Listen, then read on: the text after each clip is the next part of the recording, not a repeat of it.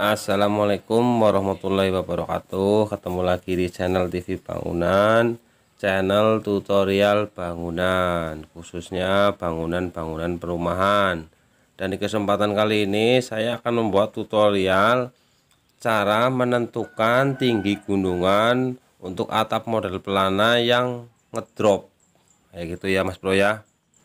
Dan kebetulan sekarang saya sedang mengerjakan rumah atapnya model pelana ya dan di gunungan yang ngedrop ini kebanyakan dari kawan-kawan itu banyak yang menanyakan ya di video sebelumnya eh, video rumus tinggi gunungan banyak yang nanya untuk eh, menentukan tinggi gunungan yang ngedrop seperti yang saya kasih tanda ini ya.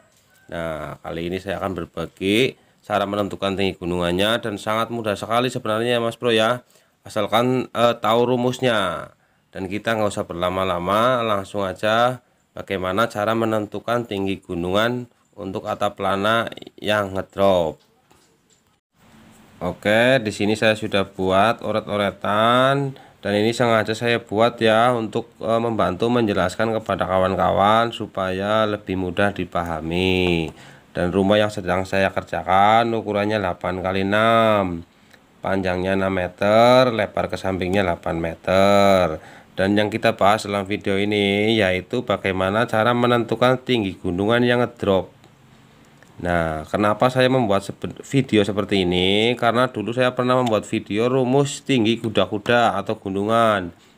Di situ banyak ya, banyak yang nanyain tentang bagaimana cara menentukan tinggi gunungan eh, untuk yang ngedropnya. Nah, kali ini kebetulan saya sedang mengerjakan rumah eh, atapnya ngedrop model pelana, sekalian saya bahas ya.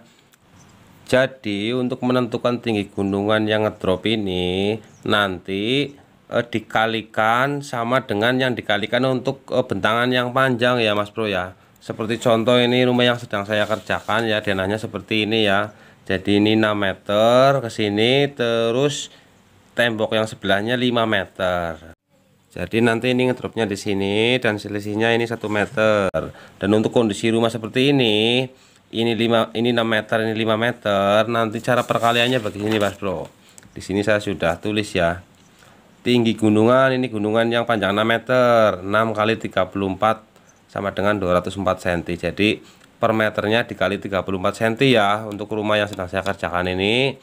Terus nanti untuk yang ngedrop ini sama ya 5 meter dikali 34 tinggi jadinya 170 cm ini 6 meter ini 5 meter. Dan ini sesuai dengan denah ya jadi ini yang 6 meter dikali 34 ketemunya 204 ini yang 5 meter kali 34 ketemunya 170 cm Nah jadi nanti jika sudah dikali-kalikan seperti ini ya nanti tinggal mengikuti ukuran ini ya mas bro ya. Seperti contoh ini yang panjang 6 meter. Ini 6 meter ya saya menggunakan skala juga ini enggak enggak asal ya. Jadi pakai skala 1 banding 25 ini 6 meter tingginya ini 204 terus ini yang 5 meter 170 dan ini udah dijamin rata ya mas bro dijamin ketemu. Ini nanti lebar sini sama lebar sini udah dijamin sama. Jadi nggak perlu khawatir nanti lebar sebelah jauh sebelah. Nah jadi nggak perlu khawatir kayak gitu lagi Oke ini ada tambahan lagi sedikit ya mas bro ya. Jadi untuk menentukan tinggi gunungan Kalau pakai rumusnya saya itu mudah sekali ya. Nggak perlu pakai sin konstan dan lain-lain.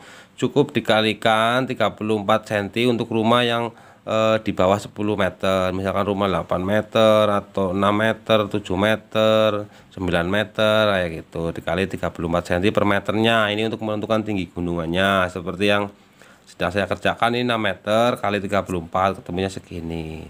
Terus untuk panjang rumah yang di atas 10 meter ya rumah panjang. Ini dikali 30 cm saja sudah cukup.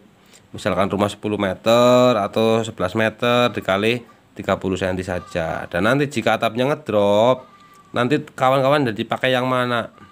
Kalau pakai yang 34 jadi ini ikut dikali 34 kalau pakai yang 30 cm berarti nanti yang ini ikut dikali 30 cm kayak gitu ya mas bro ya.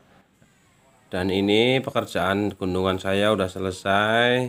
Nanti selanjutnya tinggal pemasangan balok cor gantung eh, ring balok gunungan dan selanjutnya lagi pemasangan berjaringan dilanjut dengan atap. Oke terima kasih buat yang sudah nonton video saya. Semoga saja bermanfaat sampai ketemu video selanjutnya. Jangan lupa eh, komen like subscribe jika kalian suka sama video saya. Sampai ketemu video selanjutnya. Assalamualaikum warahmatullahi wabarakatuh